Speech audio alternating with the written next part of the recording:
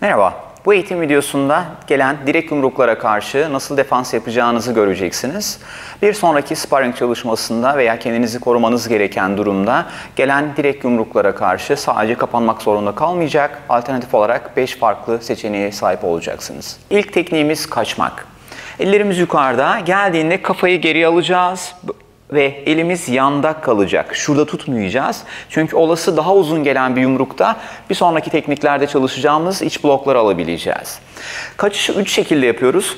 1. Doğrudan kafayı alıyoruz. 2. Adım ve kafayı alıyoruz. 3. Tamamen kaçıyoruz. Kaçış yaparken tamamen düz olmamanız gerekiyor. Çünkü buradan geriye gitmeniz çok zor. Biraz da içeride kalacaksınız normal duruşta. Böylece kaçmanız çok daha kolay olacak. Bir başka seçeneğimiz direkt yumruk geldiğinde aşağı doğru eğileceğiz. Geldiği anda eğileceğiz. Buradan aşağıya vuruşlar yapabilir. Ayrıca eğer her şey serbestse tutup düşürmek çok daha kolay olacaktır bu açıda. Geldiği anda aşağı ineceğiz.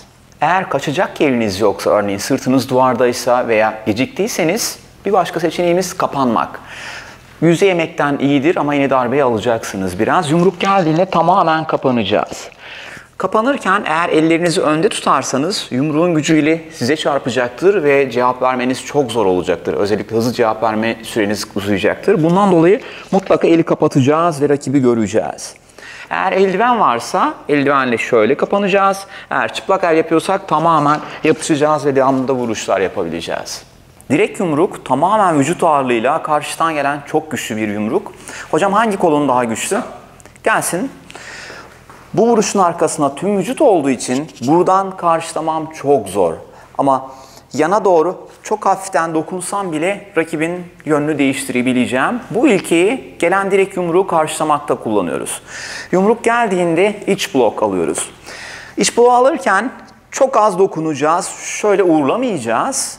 Sadece dokunacağız yeterli olacak. Yakına kadar gelmesine izin vereceğiz ve blok alacağız.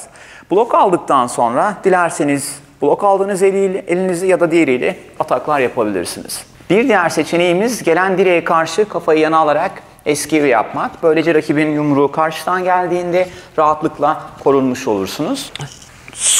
Yumruğu çıktım. Eskivi yaparak boşa alıyoruz.